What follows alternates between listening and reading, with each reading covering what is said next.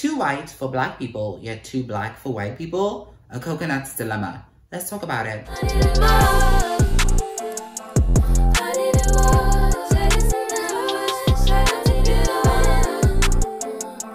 Hello Dennis, Khumo welcome here. Welcome back to my YouTube channel. For this week's video, we are talking about the term coconut, everything surrounding it, my experience with the word, and why I simply, mm, como se dice, hate it.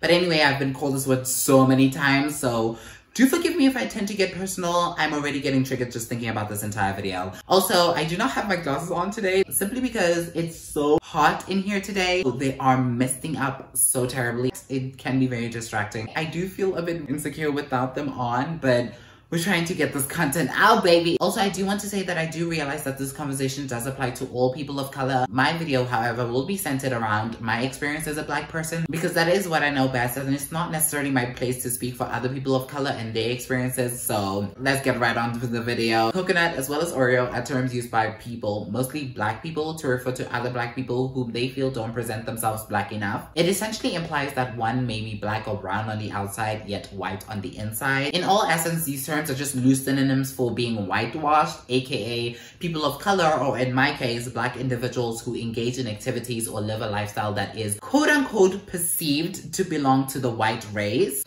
There are a number of things that one would have to do in order to be labeled whitewashed. Some of these things may include being articulate, being highly educated, being of high class, engaging in high class activities such as golf, polo, horse riding, you get the gist, being in close proximity with white people, which also includes the willingness to date them, being in predominantly white friend groups or white spaces, listening to anything other than hip hop or R&B, which may include classical music, country music, electronic, punk, the list goes on. Already it sounds so ridiculous, but anyway. There are also a number of terms that are also used. The weirdest one that I have been called was the sellout or the less threatening slash palatable black person. What I have noticed is how loosely these terms are thrown around, especially within the black community, simply because we do not know how derogatory they are. It is actually sad because it highlights the struggles we have within our community when it comes to things such as classes, constructs, and social hierarchies. These terms are often leveled at people of color who do not act speak or dress in a way that is considered authentic to their race. These terms might seem harmless compared to words like the N-word and the P-word, which are already well-established slurs.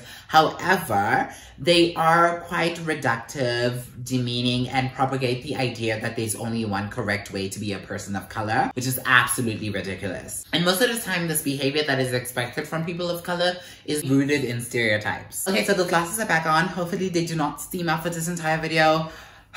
Anyway, let's continue. This is quite an uncomfortable conversation for me to have today because based on my own personal experience, I've seen it come from a place where the assumption is made that simply because I have the privilege of having access to things such as education or higher learning experiences, I think of myself better than my own people. I look down on my own people as well as think of myself higher on the societal scale, which is honestly so dumb to me because no matter how successful, educated, or polished one may be, their blackness is still very much present, which therefore subjects them to the daily discrimination and racism that black people face. However, I do realize that this type of thinking is embedded in a lot of my black folks. I too myself am still trying to unlearn the behaviors that are linked to this way of thinking. I remember I was once told by a friend that being a palatable black person is not necessarily a bad thing because white people, quote unquote, love me and are comfortable around me.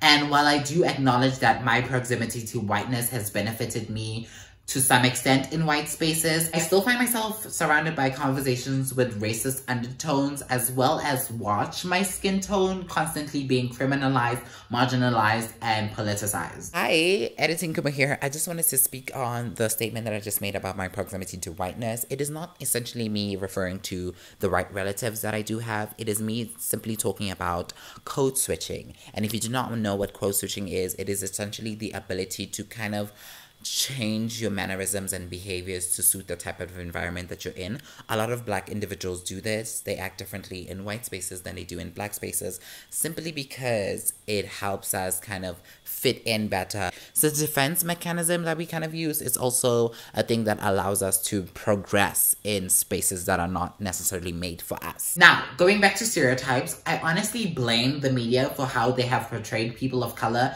especially black people throughout the years. Whenever you saw a black person come up on your screen, they were normally portrayed as being ghetto, loud, immature, on the lower side of the IQ scale, poor, dangerous, a gangster, illiterate, and so many other negative things. And oftentimes, the characters on these shows didn't have careers that necessarily required them to have some sort of formal or higher education. There were always minimum wage careers like a hairdresser, a mechanic, a nanny, a stripper, a drug dealer. You get my drift. Consumption of this type of media, accompanied by Western ideologies, conditioned us to fit ourselves in a mold of what exactly makes a person black. Oftentimes, a person who finds themselves outside of that mold of stereotypes is criticized, ridiculed, and often told that they are quote unquote trying to be something other than black, which often cases is white, or they are ashamed of their blackness. And while today the media has been doing somewhat of a good job of heading towards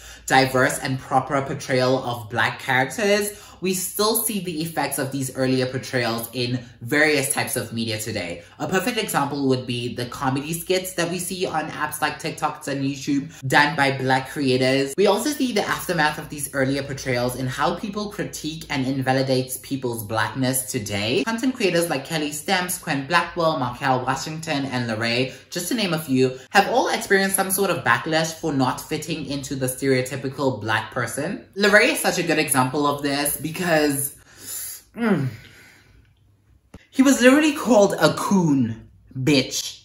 A coon, the word that literally derived from the minstrel era, simply because he wasn't putting glocks on social media like you'll expect him to. There was literally petitions to get him to stop hanging around Caucasians because people thought that he was suddenly losing his blackness. Excuse me? Losing his blackness? called a sellout. Yes, he does hang around some questionable people, but that doesn't make him any less black simply because he isn't around other black individuals. I feel like I'm getting carried away with this whole Larray situation. We also tend to forget that we all come from different backgrounds, have different upbringings, and live in different environments. So obviously, no two black people are the same. We also forget that black people exist in so many different religions and cultures. I can't really go out to England and expect black people in England to speak in AAVE. Yes, they may adopt some few terms because the online world allows easier access to such things. However, it is not what's usual in that type of environment. I really sometimes gag when I hear my suburban friends and cousins speak about pulling glocks, jumping on bitches outside, and busting a cap. Boy, you literally living in a state and center. Y'all don't speak like that. It's terms like these that are thrown at us that make us feel like we have to play caricatures of what a black person should be simply because we want to prove our blackness or prove that we're not ashamed of our blackness. My intention for this video was not necessarily to come here and defend my blackness because with all the black creators that I've seen cover this topic, to some extent or another, they were kind of at some point justifying why they should still be considered black. I do not need to prove my blackness.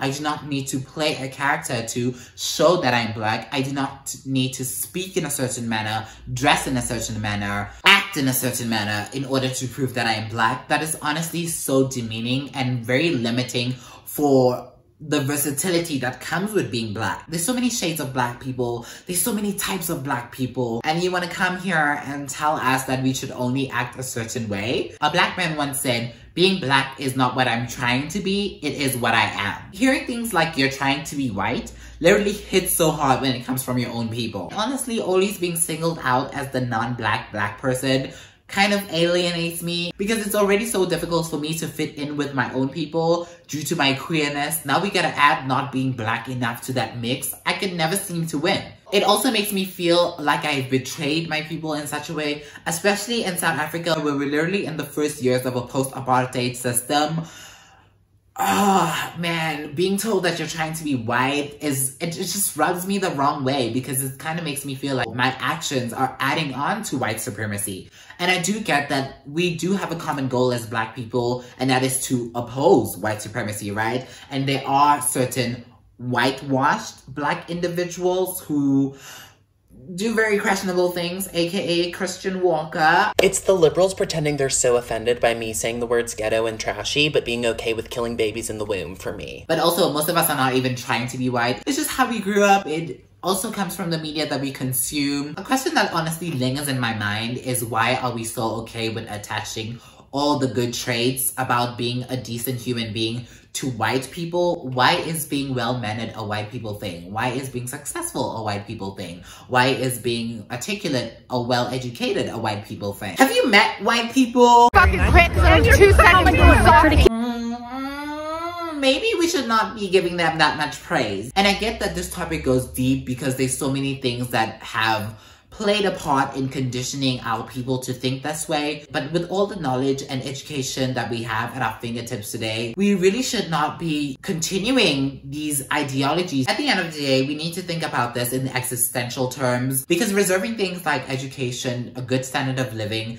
as well as success just for white people is a harmful and degenerate ideology. One of the things that I feel like we need to do as black people or people of color in general is to start to interrogate where these ideologies ideologies come from, where this way of thinking comes from, and why we still continue to pass it on to the following generations. And honestly, this conversation is so complex and there's so many different perspectives from so many different people. So I also just want to say that I do not speak for all black people. I will leave a number of sources as well as articles that I found interesting when it comes to this topic down below in the description. There will also be videos by some creators that I felt talked about this topic pretty well also in the description. Yeah, I'm gonna end the video here because I feel like if I continue going on, I'ma continue going on. You know what I'm saying? That is it for this week's video. I hope you guys enjoyed it. I hope you learned something from it. I hope you share it to your friends because we are trying to grow, okay? And that's it for me. Remember, if you do not slay, then you do not stay. And that's on period. Bye.